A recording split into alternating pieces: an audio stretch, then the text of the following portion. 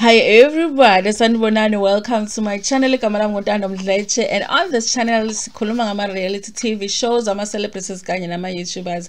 Listen you guys. So, did you see in this episode of Umakoti Are You the One? We were missing one character. Did you realize that Jabulile was not there? Hey, episode. there was no evil sister-in-law. So also for a change, yes, got to actually experience the in-laws without the the the evil sister-in-law. Hey.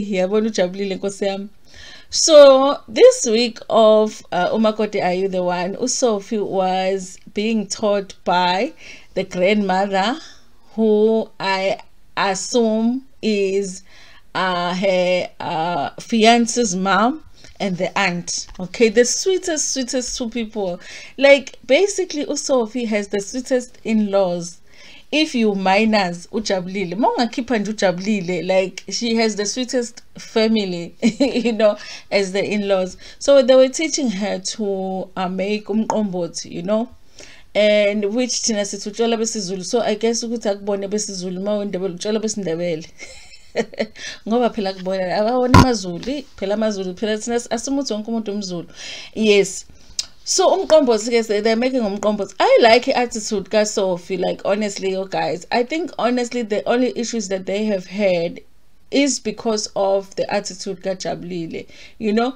And I like attitude yak. She's always willing to learn. Uh, she's very respectful to the in-laws. Uh, she will do what they ask her to do. And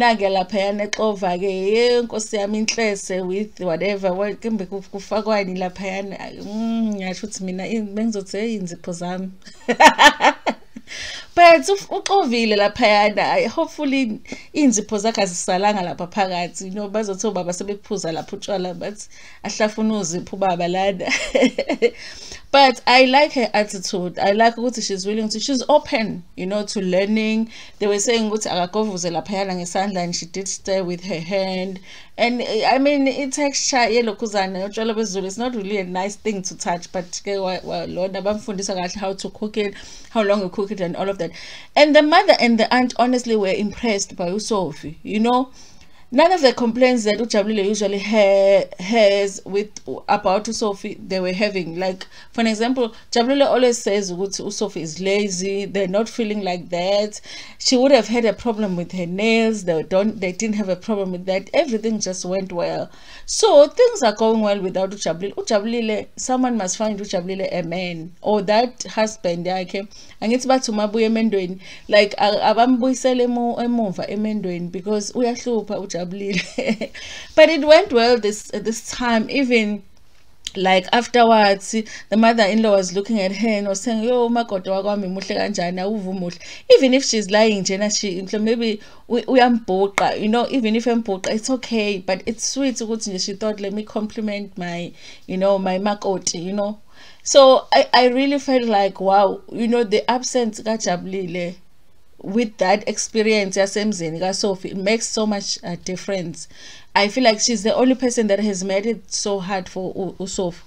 However ujabulile makes good tv she does because uh, i feel like if ujabulile was not present at all with that family then everything would have gone perfect for usophie because there wouldn't have been drama. You can see ukuthi ugogo nje just wants to teach umakoti whatever she can. She's impressed by the fact that umakoti is open to learning. She's impressed by the fact that umakoti is respectful. She's not trying to pick izinto or pick ama mistakes pick imperfections and all of that. So it would have gone too perfect had Ujabulile not been there. So i feel like the producer like Ujabulile was like gold for the producers because they were like yo this family has this uh, sister that is very dramatic and and and very evil too so let's use her you know. But i enjoyed this episode without her. I really did. But i do understand why they are making her part of the show because she does add that sosanyana to the show you know. Anyway you guys please tell me in the comment section what you thought about this episode that we went through that we watched without Jabulile. did you miss her? Because i didn't. I was like this is nice okay this is so nice. Jabulile needs a man, you know, so that she can leave Sophie alone. Anyway, you guys, thank you so much for watching this video. Please like it before Pumegiona. Share it with your friends, with your family, and even with strangers. Ngintanda kakulu.